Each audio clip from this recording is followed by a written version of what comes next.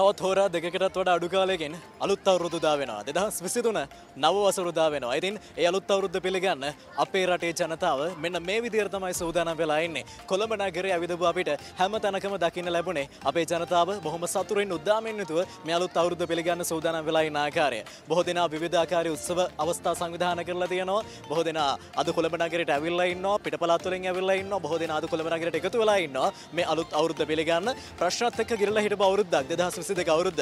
හැබැයි පරණ අවුරුද්දේ පරණ ප්‍රශ්න ඒ අවුරුද්දටම බාර දීලා අලුත් බලාපොරොත්තුත් එක්ක අලුත් අවුරුද්ද පිළිගන්න අපේ රටේ ජනතාව බොහොම උනන්දුවෙන් යුතුව සූදානම් වෙනවා කියලා නම් අපිට දකින්නට පුළුවන්. ඉතින් අපේ රටේ ජනතාව නිවුස් ෆස්ට් අපිත් එක්ක ඒ සතුට ඒ සූදානම ගැන මේ විදිහට තමයි අදහස් බෙදාගත්තේ. අලුත් අවුරුද්ද සුභවින්ඩ කියලා තමා හැමෝටම පාර්ථනා කරන්නේ. ඒයගේම රටේ තියෙන ප්‍රශ්න කරදර අඩු වෙලා හැමෝටම සතුනින් සාමයෙන් ජීවත්වෙන්න පුළුවන් නවසරක් උදාවෙන්න කියලා පාර්ථනා කරනවා. අමාරුවෙන් තමයි ඉන්නේ. අපි ඉන්නේ හිටියට ඉතින් කරන්න දෙන්න අපි ළමයි වෙනුවෙන් අපි එන්න ඕන. අපි පොළොන්නර ඉදං ආවේ. ඉතින් ගෝල් ෆේස් එකට ආවා. අද මෙතන ඉතින් පොඩි වැඩසටහන් කිපෙකුත් තියෙනවා. ඉතින් ඒකට පොඩ්ඩක් සහභාගී වෙලා යන්න. ඉතින් අලුත් අවුරුද්ද අද රෑ ලබනවා. ඉතින් ලක්වාසී සියලු දෙනාට සුබ අලුත් අවුරුද්දක් වේවා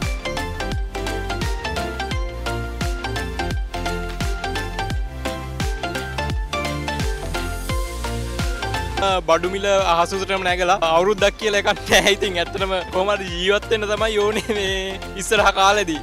අවුරුද්ධ කරනම් කිසිම පැහැදීමක් නෑ මොකද ආර්ථික රටාව අන්තිමයි. අද මේ ජොබ්බි ඉඳලා අවසාන දවස මේ ගෙදරන දවස.